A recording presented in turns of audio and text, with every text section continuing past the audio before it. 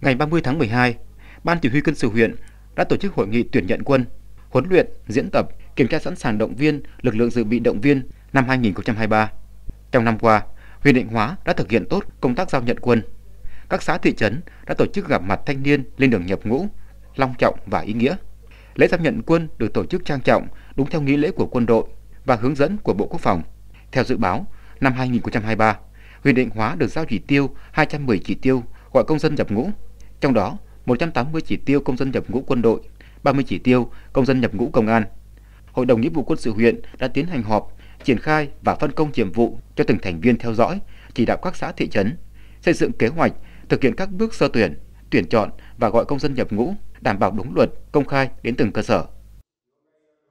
Cũng tại hội nghị, Ban Chỉ huy quân sự huyện đã báo cáo kết quả thực hiện nhiệm vụ công tác động viên huấn luyện, diễn tập, kiểm tra sẵn sàng động viên lực lượng dự bị động viên năm 2022, phương hướng nhiệm vụ, công tác động viên, huấn luyện, diễn tập, kiểm tra sẵn sàng động viên lực lượng dự bị động viên năm 2023.